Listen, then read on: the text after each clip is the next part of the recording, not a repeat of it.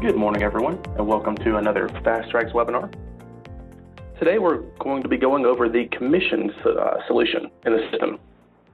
It's very easy to set up and actually a very effective sales tool to increase your sales at your stores and uh, benefit your employees, help them become better employees. Just a great way to handle all that. First thing, we're going to be looking at the uh, way to build the campaign. To do that, you click on the Pricebook module from within Director, and you'll go to the Commissions tab. I've already got one here built, but we're going to build a new one. Just so we can look at what's here, I'm going to click on the Juul Starter Kit spiff and then click Edit Commission. This will bring up that commission campaign details screen. We have a campaign name, a start date, a stop date, the campaign type, which is one of two ways, a flat spiff or a percent spiff, spiff and a value. The value, of course, for a flat spiff is going to be a dollar amount, and for a percent spiff is going to be a percentage. So I'm going to go ahead and save that. We're going to build a new one. So to do that, we click on the New Commission button. I'm going to call this, we're going to make it on protein bars. Let's call this uh, Special K. Let's call this uh. And just for my notification, I'm going to put percent. I'm going to have that for this month through the end of the year. This I want to be a percent based one. And I'm going to set that for a 5% spiff. I'm now going to save that. So we now have built the what, we, what I like calling the header, the container. We want to put items to that, the details. We want to assign those items to that header. So you can do this in one of three ways. I can edit that commission. I can then choose add item. I can search by UPC, vendor part, or description.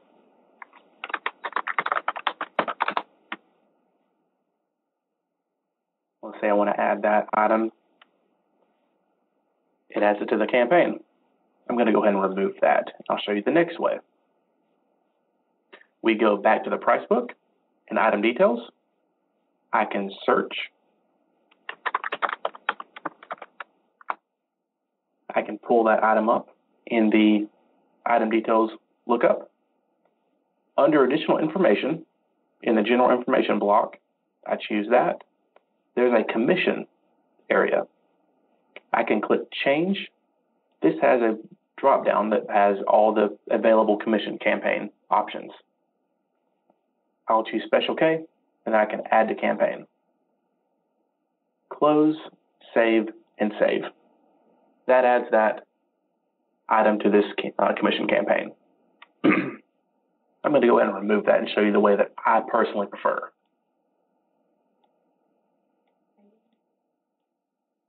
So both of those previous ways, those were item by item. You're adding them to the campaign one at a time. There's a much better way to handle that. If you go to mass updates,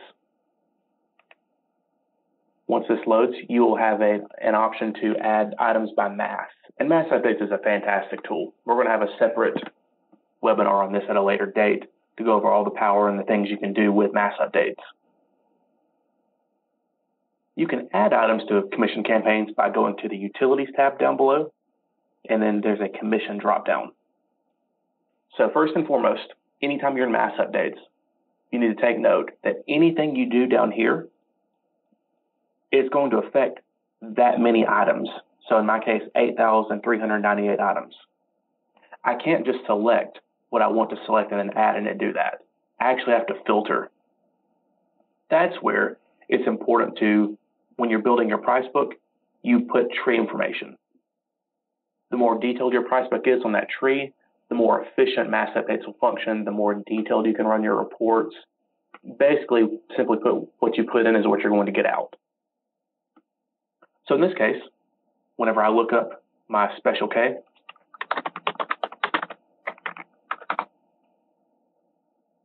I can see that it's under snacks, protein bar, special K. So I'm going to go to mass updates. I'm going to go to my snacks major category. I'm going to click the drop down. I'm going to go to my protein bar, click the drop down. I'm going to go to my special K. There's all my special K items. So now I'm safe to actually choose the commission drop down, choose the spiff add, because I'm only going to be adding those 12 items. So I'm going to choose add. That added those items to that campaign. Now, if you're in a corporate environment, remember, just because you added a corporate does not mean it's immediately effective. You have to go to the queue and then send that queue down to the stores for that to take place. So we've built our items. We built our commission campaign. We've added those items to the commission campaign. What's next? Well, the next part we have to do is going to be in the POS. So let's open the POS up.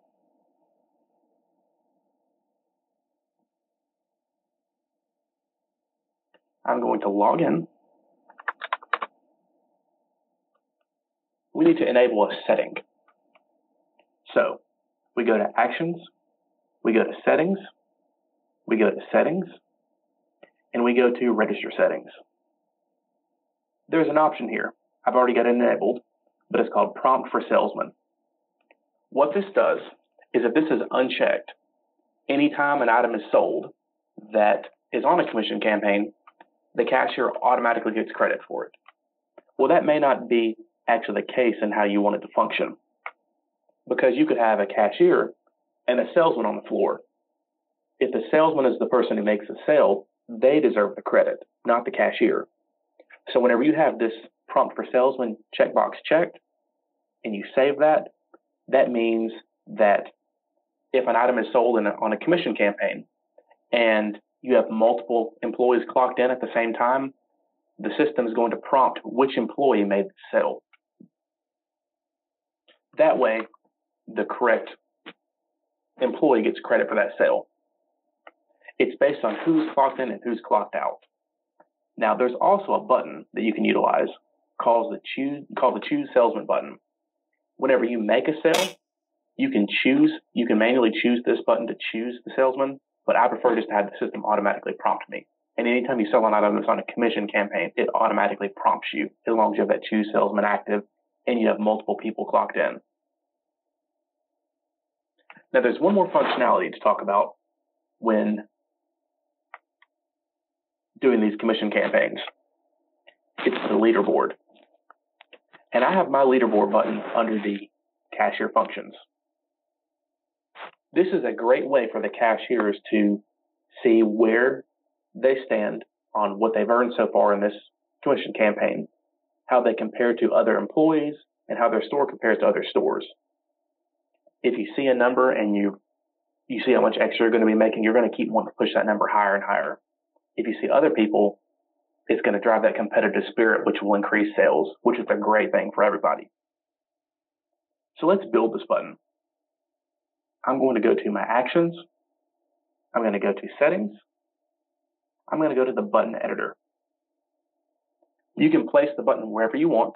I always put mine under cashier functions because I like to have my panels organized. Anything that's on the main screen that has to do with the sale, some kind of function in the point of sale itself. The cashier functions, this will be like leaderboards, price change reports, pay in, pay out, starting till, things like that, functionality for the cashier to utilize. And then subtotal will be, of course, forms of payment. So I'm going to delete this button. Let's build it from scratch. So I'm going to choose the button here. I'm going to choose Edit Button.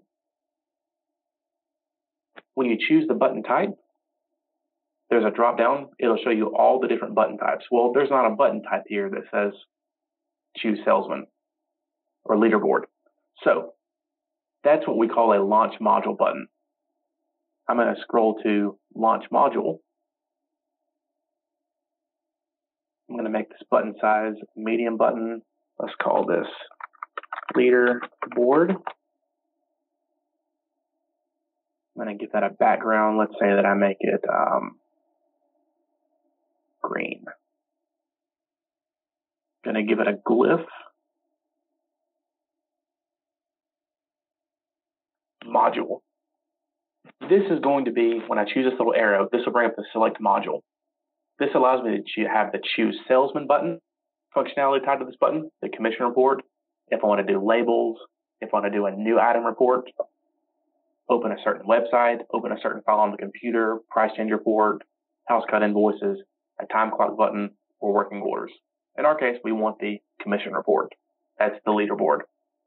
So when I select that and choose save, I now want to update this. So update. My leaderboard button is in place. I want to save my changes. So I'm going to choose save panel. And I've built that button now. I've got one more step to make sure that this button doesn't ever go away. I want to save this to my database. So I choose cancel, settings, settings, register settings. And under POS panels, I want to choose save panels to DB. What this does is this will allow those panels to be saved in that database, meaning if you have multiple registers, you only have to make this change on one register because the other registers will automatically pull those updated buttons, updated panels from register one. If you're in a corporate environment, you can pull these updated buttons from the store to corporate and then send those buttons down to other stores. In the long run, that can save you a lot of time instead of having to build the same button over and over and over again. So let's look at that button. I'm going to open the point of sale. I'm going to go to my cashier functions, and there it is. So when I choose it, that brings up the leaderboard. And you can see that I've already sold two of that Juul starter kit flat spiff today. Let's make a sale and add to this commission campaign. I'm going to choose the Juul starter kit button. I've already got that item programmed into this button. When I choose it, so I have my age verification because I've got a POS flag designating that it requires to be 18. And you'll see because I have two employees clocked in, I have the select salesperson. Who's going to get the credit of that spiff? I'm going to choose the manager. Subtotal in the sale. Now let's say that I clock out. I'm going to exit POS. I'm going to clock the cashier out. I'm going to log back in, this time under the manager. I'm going to do that same sale. Juul Starter Kit. Notice I didn't get the prompt for the choose salesman. That's because the cashier is clocked out. If there's no one else clocked in, it's going to assume that because no one else is clocked in, no one is working. So the cashier is going to get the credit. So let's log back in under the cashier. So we'll continue to get that prompt.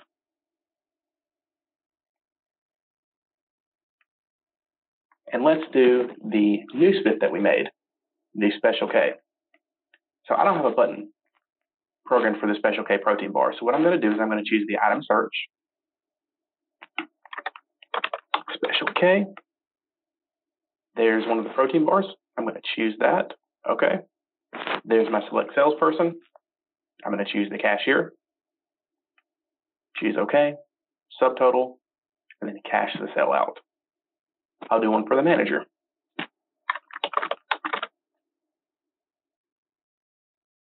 I'm going to choose the special K. This one, I'm going to have that cell for five.